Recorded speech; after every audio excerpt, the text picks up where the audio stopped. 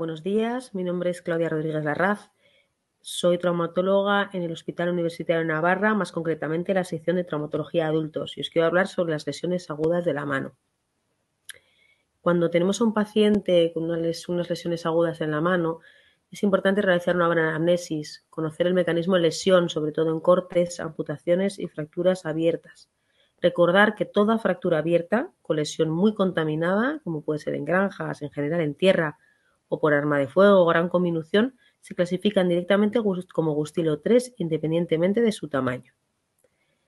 Es importante decirle al paciente que localice el dolor, si existe impotencia funcional asociada, si la falta de función ha sido inmediata al traumatismo corte o posterior a este, si existe una falta de sensibilidad en algún territorio concreto, cuál es el trabajo habitual del paciente, qué dominancia tiene, si es diestro o zurdo, eh, si es fumador o diabético de cara a la curación de las heridas y si existe una correcta vacunación antitetánica. En cuanto a la exploración física, debemos inspeccionar meticulosamente la mano en búsqueda de deformidades, hematomas, heridas o laceraciones, si existe una buena alineación de dedos o si estos se encuentran mal rotados. En posición flexionada, eh, todos los dedos deben apuntar al tubérculo escafoides o si existe una alteración de la cascada digital, como vemos en la imagen de abajo. Valoración vascular, la coloración, la temperatura y el relleno distal menor de 3 segundos. Y si existen dudas con respecto a esto, utilizaremos el Doppler. Una buena exploración motora de musculatura extrínseca y musculatura intrínseca, como veremos más adelante.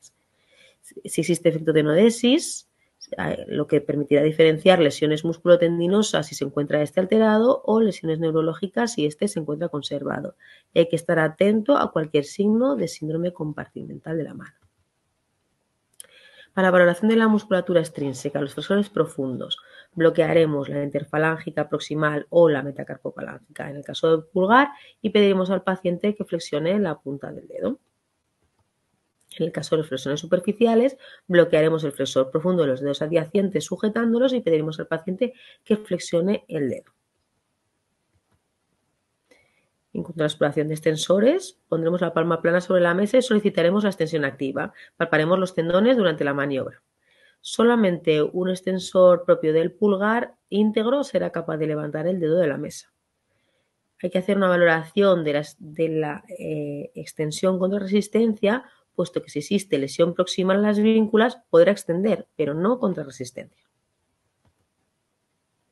En cuanto a la musculatura intrínseca, encontramos los interóseos que realizan la abducción y la aducción, o poner el pulgar a la punta del dedo meñique evalúa la musculatura tenar, la aducción del pulgar contra el dedo índice evalúa el músculo aductor. Solicitaremos radiografías, radiografías correctas en dos proyecciones, Fracturas, luxaciones, cuerpos extraños en partes blandas es lo que veremos. Para la mano, una proyección AP y una oblicua, para los dedos una proyección AP y otra lateral, o proyecciones específicas en caso que estemos buscando algo concreto. Proyección de túnel carpiano, proyección de pisi piramidal, que es una oblicua, la de escafoides o la carpometacarpiana del índice para valoración de la articulación trapecio-trapezoidea. Procedimientos a realizar en urgencias conforme llega el paciente. Administración de una antibioterapia profiláctica precoz en caso de heridas. Es un factor importante para disminuir la infección, sobre todo tras fracturas abiertas. Lavado de las mismas y extracción de cuerpos extraños. En el caso de mordeduras, ya sean de animales o humanas, realizaremos una buena cobertura antibiótica y un buen lavado. Y dejaremos el cierre por segunda intención. En cuanto a la vacunación antitetánica, el paciente se encontrará inmunizado de por vida si se le han administrado cinco dosis de vacuna. En esta tabla se ve muy bien. Realmente lo que nos tiene que interesar es saber si tiene menos o más de tres dosis o, en su caso, si desconoce que estas existan. Eh, si, lleva menos de tres dosis administradas la herida es limpia, solamente realizaremos una prima vacunación de la vacuna, eh, no inmunoglobulina. Si la herida es potencialmente tetanígena, eh, realizaremos una vacunación y eh, administraremos también la, inmunoglobulina antitetánica.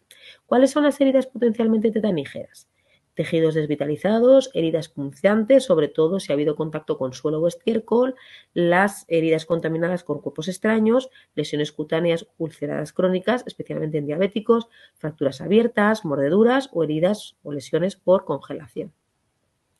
En cuanto a la anestesia regional de la mano y muñeca, podemos realizar un bloqueo del nervio cubital, del nervio mediano y del nervio radial que nos ayudará para la reducción o sutura o tratamiento en general de las lesiones agudas de la mano en el servicio de urgencias. Para el bloqueo del nervio cubital utilizaremos como referencia el tendón del cubital anterior, como vemos en la imagen.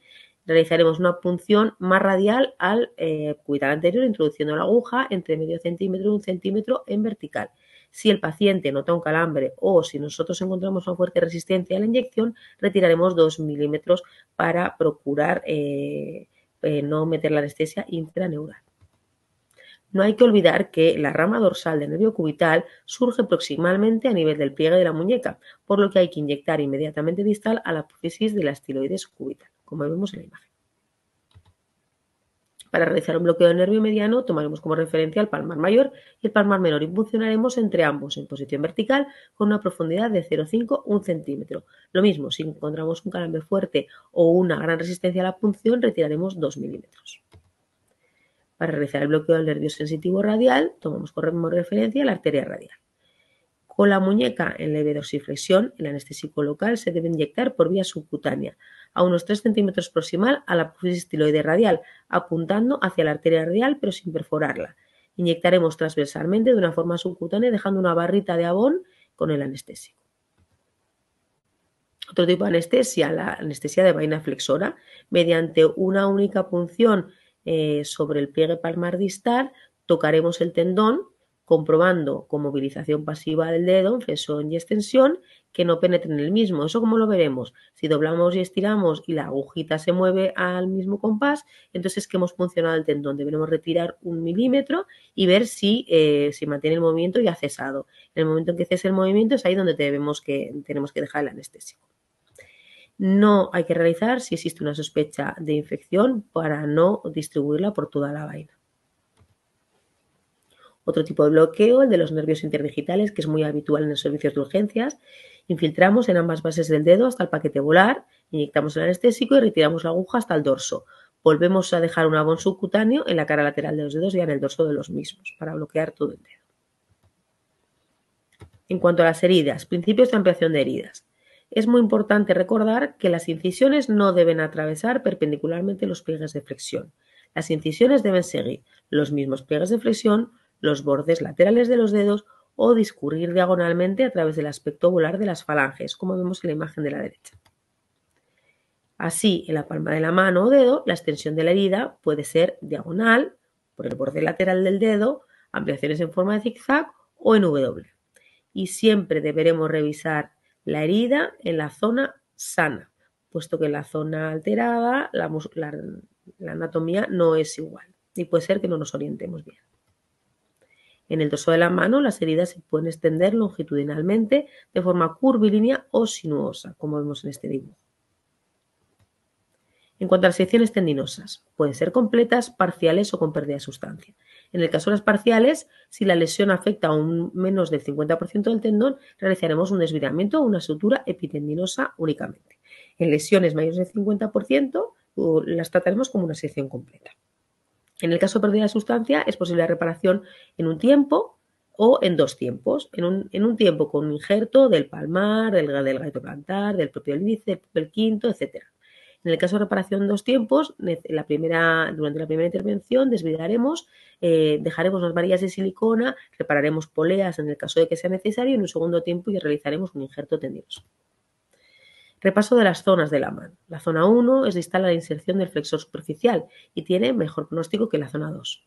La zona 2, conocida como tierra de nadie, ambos tendones discurren en una vaina osteofibrosa y existe la presencia de poleas que pueden dificultar la reparación tendinosa. La zona 3 es la zona de origen de los lumbricales. Los autores recomiendan en general no repararlos para evitar la rigidez en flexión de la metacarpofalángica. La zona 4 es el terreno del túnel carpiano es preciso abrirlo y liberarlo para hacer las suturas. Tiene buen pronóstico. La zona 5 es la mejor, de mejor pronóstico de todas. En cuanto a las poleas de los dedos trifalángicos, es importante respetar las poleas A2 y A4. En el caso de que sea necesario, se realizará la apertura de las mismas en forma de L para su cierre posterior. En caso de dificultad en el deslizamiento tendinoso, del tendinoso, es posible una apertura parcial. En el caso de la polea 2, se podría abrir hasta un 25% de la misma, hasta un 75% en el caso de la polea 4 y si ya tenemos que abrir parcialmente ambas poleas, debería ser 20-25% de cada una. Y es mejor realizar esa apertura en la zona distal de la polea. En el caso del pulgar, tenemos tres poleas, la A1, la oblicua y la A2. Deberemos mantener la polea A1 o la oblicua para evitar la cuerda de arco. Recordar, las vainas sinoviales del primer y quinto dedo em, van hasta el, hasta el, espacio de parona localizado en la muñeca. Por lo tanto, en el caso de las infecciones de estos dedos, primero o quinto, las infecciones de los dedos se podrían diseminar hasta la muñeca o hasta el antebrazo.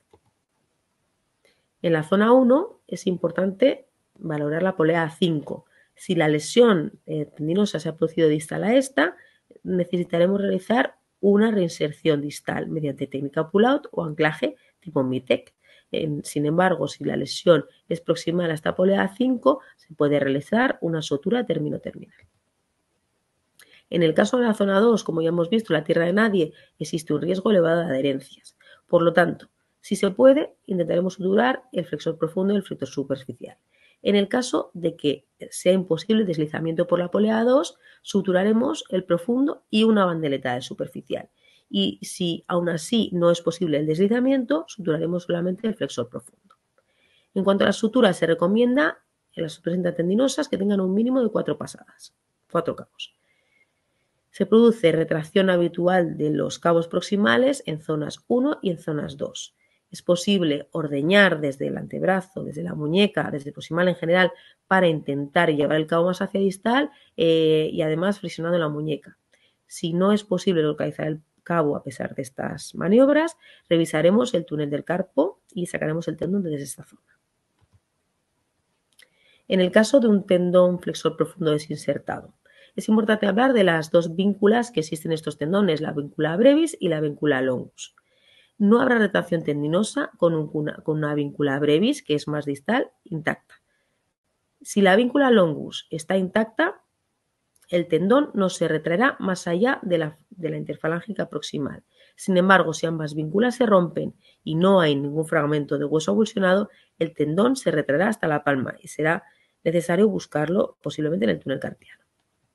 En cuanto a la zona 4, a la derecha tenéis un corte transversal de la zona del túnel carpiano en verde los tendones flexores en general, en rojo el nervio mediano y en azul el flexor largo del pulgar. Esta es la disposición que adoptan. Recordad en la izquierda que tenemos la disposición de los flexores superficiales, siendo más volares el del tercero y el cuarto con respecto al segundo y el quinto. Unos tips de fracturas y luxaciones. Tips para la reducción. Para corregir solo la angulación de una fractura, una maniobra de tres puntos es suficiente. Esto en general en todos los huesos. Para conseguir solamente la traslación realizaremos una tracción para desenganchar los fragmentos. Para corregir la rotación es bastante útil flexionar la articulación más distal como guía para la rotación.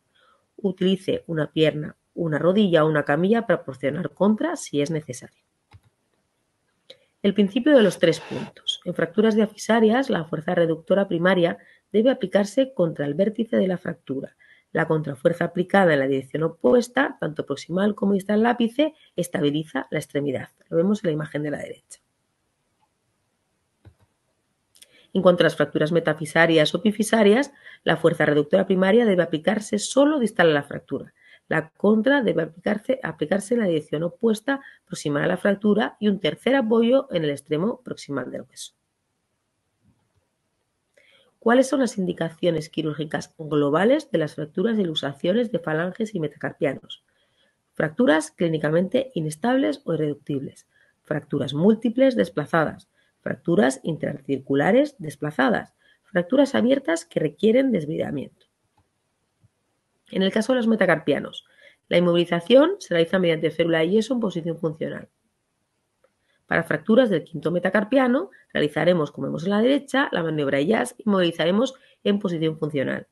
Las angulaciones de estos metacarpianos eh, son bien toleradas hasta los 40 grados. En las falanges. Es importante recordar que las fracturas de las falanges, de las bases de las falanges proximales, tienden siempre a la hiperextensión, la angulación de hiperextensión. Eh, hay que reducir esta hiperextensión e inmovilizar en flexión no exagerada. Las fracturas estables de las falanges no desplazadas pueden tratarse mediante sindactilia. Si existe gran sintomatología, si las lesiones y las fracturas son inestables o si precisan de reducción, hay que inmovilizarlas. Y tras las maniobras de reducción, siempre solicitar una placa de control. En el caso de la luxación de la interfalángica proximal, si se estable tras la reducción, se colocará una sindactilia. Si es inestable, la inmovilización mediante férula metálica es suficiente. En el caso de luxaciones de la interfalángica distal, realizar inmovilización mediante férula, de férula metálica. Cuidado con las luxaciones metacarpofalángicas. Hay que evitar traccionar para reducir, puesto que la cabeza del metacarpiano se introduce entre los flexores y los lumbricales, produciéndose un ojal. Si eh, intentamos reducir contracción, lo que conseguiremos es que este ojal se estrangule eh, sobre el cuello del metacarpiano y sea imposible la reducción. Deberemos flexionar la muñeca y empujar la base de la falange proximal hacia volar para reducir. Y si ni aún así es posible, iremos a la cirugía. Realizaremos una apertura de la polea 1 y liberaremos la placa volar. Hay que tener mucho cuidado con los nervios colaterales que en la posición en la que han quedado tras la reducción están muy superficiales, muy subcutáneos y podemos lesionarlos durante el abordaje. Y por último, el ABC de la mano traumática. Prioridades en la reconstrucción de una mano traumática. Lo primero es la, valoración vascular, el desviamiento de tejido necrótico, limpiar la alta contaminación. La B, la estabilización del hueso, que puede ser provisional o definitiva, que permite la sutura nerviosa y vascular posterior. Los metacarpianos y las falanges toleran acortamientos de hasta un centímetro sin una pérdida significativa de función. Se ha visto que una pérdida de un acortamiento de un centímetro produce una pérdida de 35 grados de extensión. Como las metacarpofalángicas realizan una hiperextensión de unos 20 grados, eh, la pérdida de función extensora no será muy significativa. En caso de pérdida de sustancia ósea, hay que valorar espaciadores de cemento o injertos según el riesgo de infección. La C es la reparación tendinosa. Lo ideal sería una reparación primaria, evitando la tensión excesiva. En el caso que no sea posible, iremos a los injertos tendinosos, si hay una pérdida de segmentos. Transferencias tendinosas o anastomosis, eh, si no hay otra opción, entre extensores comunes, por ejemplo. La reconstrucción tendinosa, si no existe una, una correcta cobertura cutánea, se puede demorar hasta que ésta se realice. La D sería los nervios, la denervación. Eh, como escenario ideal, realizar una sutura primaria sin tensión. Esto suele ser bastante difícil, puesto que los nervios, eh, las secciones nerviosas suelen tener bastante lesión en los cabos y hay que desvidar estos para eh, localizar una zona con buen aspecto. Así que los, los defectos serán mayores de los que tengamos al principio. En el caso de defectos menores de 5 centímetros, podremos utilizar autoinjertos, por ejemplo, del nervio sural, que es el más utilizado existen también los conductos tubulares que podemos suturar los cabos nerviosos para defectos menores de 2, como mucho 3 centímetros. Y por último tenemos la valoración de la E, que es la, piel, la envoltura, que es la cobertura cutánea eh, para lo que llamaremos a cirugía plástica. Muchas gracias y feliz Navidad a todos.